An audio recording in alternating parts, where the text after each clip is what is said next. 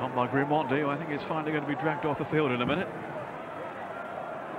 Certainly didn't want to go earlier. This is Kanu. Is there going to be a party piece here? Oh, the crowd love that. Maybe not the finish. Well, the first bit wasn't bad. Well, nearly changed my man of the match. Nearly changed my man of the match. this is gorgeous.